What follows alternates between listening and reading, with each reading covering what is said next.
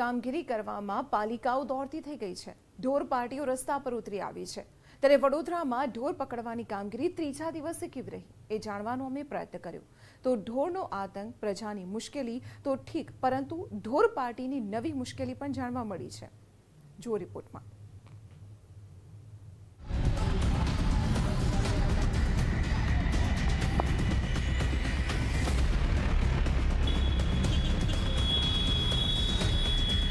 રાજ્યના મહાનગરોમાં કોર્પોરેશન દ્વારા અલગ અલગ વિસ્તારોની અંદર રખડતા ઢોર પકડવા માટેની કામગીરી શરૂ કરવામાં આવેલી છે.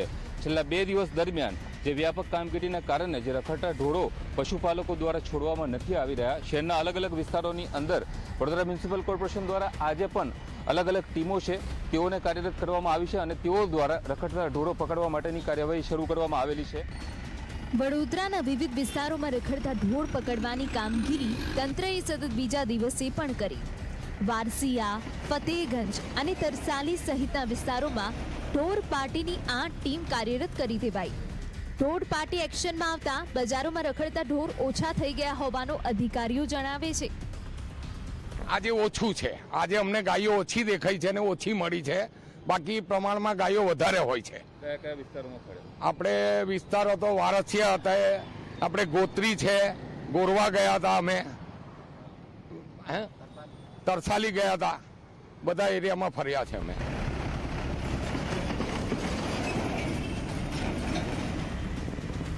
જો કે અચાનક એક્શનમાં આવેલી પાલિકાએ ઢોર પાર્ટીને સોંપેલું કામ એટલું સહેલું નથી. રખડતા ઢોરને પકડતા પહેલા જ જાણ થઈ જાય. ઢોર માલિકો સાથે ઘર્ષણ, બબાલ થાય.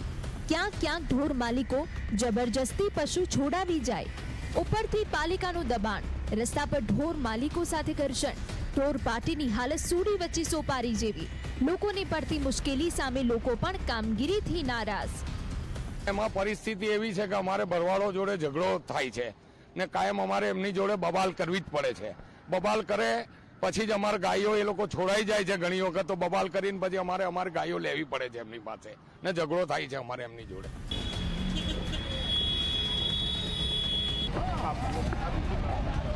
પરંતુ વડોદરાની પ્રજાના મતે ઢોર પકડવાનો આ અભ્યાસ ચાલુ રહે, તો લોકોને રસ્તા પર રખડતા ઢોરના ત્રાસમાંથી મુક્તિ મળે. અને વડોદરાવાસીઓની એક મોટી સમસ્યાનો અંત આવે. એક તરફ હાઈકોર્ટના આદેશનું પાલન કરાવવાનું છે, તો બીજી તરફ પશુપાલકોના રોષનો સામનો પણ કરવો પડતો હોય છે.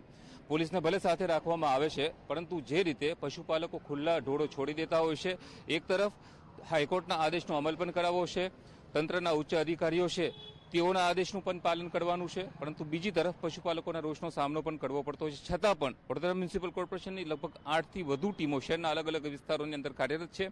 બે દિવસ દરમિયાન જરૂરથી પશુઓ પકડાયા હતા અને ઢોરવાડાઓ પણ તોડવામાં આવ્યા હતા. પરંતુ આજે મહદ અંશે જે બે દિવસની કામગીરી છે, તેની સફળતા દેખાઈ રહી છે. જોવાનું હવે એ છે કે રખડતા ઢોળોની સમસ્યામાંથી કાયમી મુક્તિ ક્યારે મળે છે? કેમેરામેન નિકી સોની સાથે યુનુસ ગાઝી, ટીવી નાઇન વડોદરા.